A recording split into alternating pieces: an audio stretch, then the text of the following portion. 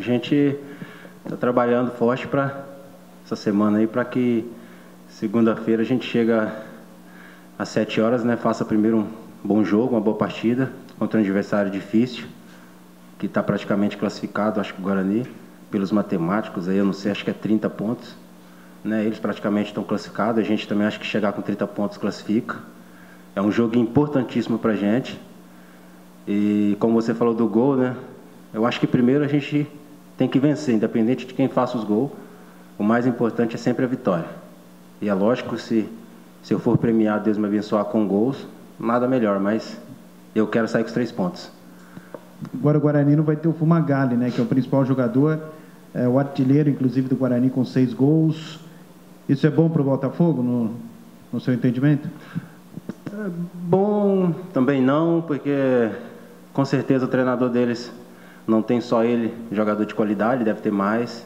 E aquele jogador que sempre está de fora, quando ele entra, ele quer mostrar mais do que quem estava jogando, né?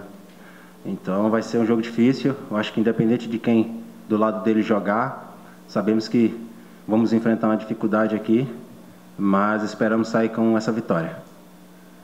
A diretoria está fazendo promoção de ingresso, né? O que você espera da torcida segunda-feira? É, como eu falei na entrevista no jogo lá ainda contra o Juventude, é, né, a gente pede que o torcedor venha, que nos apoie do começo ao fim, porque o jogador é o décimo segundo, o torcedor é o décimo segundo jogador, e quando a torcida vem e eles realmente nos apoiam, torce, faz muita diferença. E eu vivi isso contra o Botafogo, sei o quanto a torcida ajuda, e eu faço esse apelo aí para que o torcedor venha e realmente torça para a gente, porque nós vamos precisar muito dessa torcida aí. Tiago, boa tarde. É, é, o jogo das duas melhores campanhas da Série C inteira, envolvendo aí os 20 clubes, né? E o Guarani, além de ser o melhor time, tradicionalmente tem uma rivalidade com o Botafogo, de ser aí é, em 2012, o Botafogo não caiu naquele ano com uma vitória em cima do Guarani. Por conta de todo esse contexto e a, e a fase que eles estão vivendo, na sua opinião, eles são favoritos para o jogo ou você acha que, como por ser um clássico, não existe isso? Não, é um jogo difícil. É lógico que eles têm o favoritismo, porque é, eles estão em primeiro também na competição, na competição em geral. E sabemos que lá também tem jogadores qualificados, como aqui também tem. E tem essa rivalidade até por ser dois times do interior também. E como você disse aí em 2012, né? Teve aí esse, essa vitória do Botafogo. Então eles vão vir para cá também, com certeza querendo ganhar da gente. Até porque praticamente estão classificados. E a gente tem que saber jogar, temos que saber lidar com eles. Estamos estudando bastante o time deles também. Mas esperamos sair daqui com essa vitória. Você é, teve, com certeza, quando teve a sua primeira oportunidade é, num time profissional, foi ajudado pelos seus companheiros, né? E muito provavelmente, a gente não sabe ali, mas o Márcio é, tem uma, uma vaga para ser ocupada na lateral direita que pode ser pelo Codor, o Souza. Como é que vocês estão conversando com esse jogador caso ele inicie a partida pela primeira vez entre os titulares? Não, a gente trata ele, né, a gente tenta passar tranquilidade, não só porque talvez o treinador, o Márcio Fernandes, queira colocar ele, né?